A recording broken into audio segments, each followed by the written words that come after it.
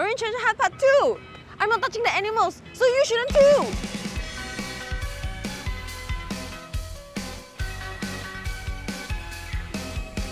Oh my god, the Onslaughts are still here! So you know Onslaughts, uh, they actually, like sea slugs in general, they actually inspire one Pokemon known as Gastrodon. And look, they're all still here! Wait, is this gonna be a Pokemon episode? Why not?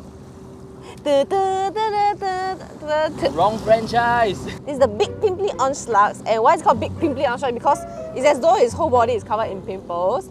And then, just like the Pokemon Gastrodon, which has a power known as Sticky Hold. Sticky Hold! Yes, Sticky Hold because it sticks and it holds there. Just like the Onslaught, Onslaught has Sticky Hold kind of power too. The base is a big fat suction and you can hold on and grip onto rocks and this is important when the waves are very strong because they don't want to get dislodged off and like fly into the seas.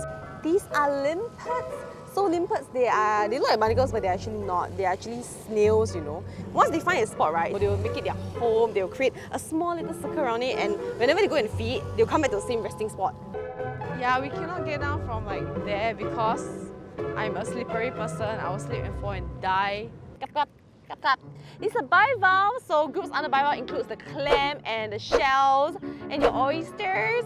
So you know, clam pearl, Shellder, the Pokemons, they are probably inspired by this real life bivalve clam. So shells, they have two adductor muscle here and here, and that controls whether they open or close their shells. So Clamperl and Shellder, they have this ability called clam, which is to clam stuff. Yeah, so they clamp, clamp, they make use of their adductor muscles. There's cucumbers everywhere again! As you guys might have known from the previous episode, we've found a lot of it. And inspired the Pokemon Pyukumuku! So Pyukumuku has this ability where it vomits out all its innards and it will damage the opponent. So Sea Cucumber does that too. But it doesn't actually damage the predators, it actually just scares them away, you know. I mean like they say like the full blast of intestine, then the predator will be like ah then they will take this moment to faster escape. Why are there more things in the seagrass? Because seagrass it provides number one, food for some of the animals.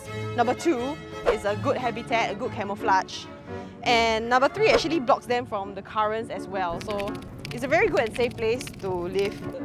Yo, what's up? Who are you waving to? The sea star. You see it as one of his arms up. From what I observed, they only move when their arms are up, then they will start to move, then they go down. Then they oop, then they go down. Just like the sea cucumber, they actually belong to the same family, meaning that it actually like, you know, regurgitate out its stomach if they want to and that's usually for the prey. They will, you know, regurgitate the stomach into the clam and eat whatever it is inside.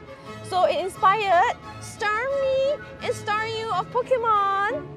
This is a mini carpet anemone. I think it kind of looks like the Pokemon Mareanie, although that one it was inspired from a sea star. But personally, I feel that they look pretty much alike. So anemones, they don't actually stay in one position. They have the ability to actually prop themselves up and then glide along the floor to find another location if it's more suitable. Uh, yeah, I'll probably leave it alone and let them find their own place, okay? This stupid crab wants to attack me.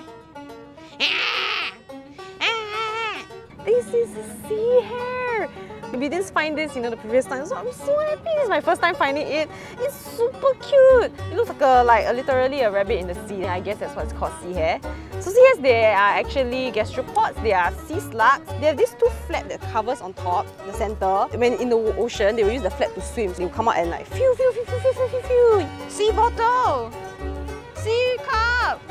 Sea Oreo! Sea Muruku! They inspired the Pokemon Grimer, which represents like sea pollution in the Pokemon world. Once again, we found the moat of the coastal horseshoe crab. And when they moat, right, they really literally moat everything, including like, you know, the outer covering of the eyes. You can see the eyes here, like super duper cool and inspired the Pokemon Kabuto. And just like Kabuto, so Kabuto was like found like isolated like for 300 million years like somewhere in the island in the Pokemon world. So it's the same as the real world. Nothing much has changed about its body structure. So in evolutionary history, it was able to survive and preserve its general body from all the way since the dinosaur times.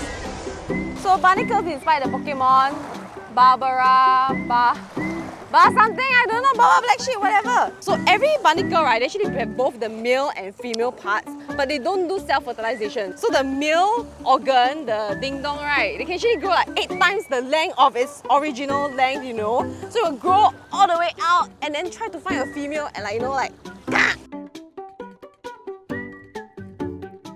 Oh my god, it's a catfish!